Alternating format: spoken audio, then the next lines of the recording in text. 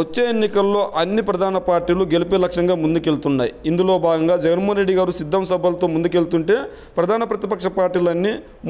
కూటమి కట్టి ప్రజాగలం పేరుతో సభలు నిర్వహిస్తున్నాయి కానీ జగన్మోహన్ రెడ్డి సిద్ధం సభలతో పాటు సామాన్యులను కూడా ఎమ్మెల్యే చేసే దిశలో అడుగులు ముందుకేస్తున్నాడు ఇందులో భాగంగా ఉమ్మడి అనంతపూర్ జిల్లాలో ఇద్దరు సామాన్యులకు టికెట్ ఇచ్చారు ఒకటి సింగనమల నియోజకవర్గం ఒకరికి ఇంకొకరికి మడకశీర అభ్యర్థులకి ఇద్దరు కూడా దిగువ మధ్యతరగతి కుటుంబానికి చెందిన వాళ్ళు సింగనమల వైసీపీ ఎమ్మెల్యే అభ్యర్థిగా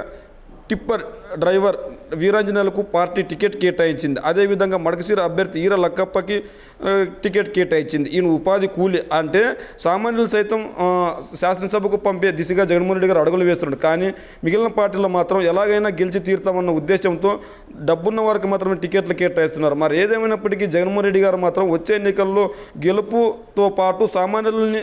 ఎమ్మెల్యేలను చేయాలన్న సంకల్పంతో ముందుకెళ్తున్నాడు మరి జగన్మోహన్ రెడ్డి గారు సామాన్యులని ఎమ్మెల్యేలను చేయాలని కూడా మీరు ఎలా చూస్తున్నారో మీ కామెంట్ రూపంలో తెలియజేయండి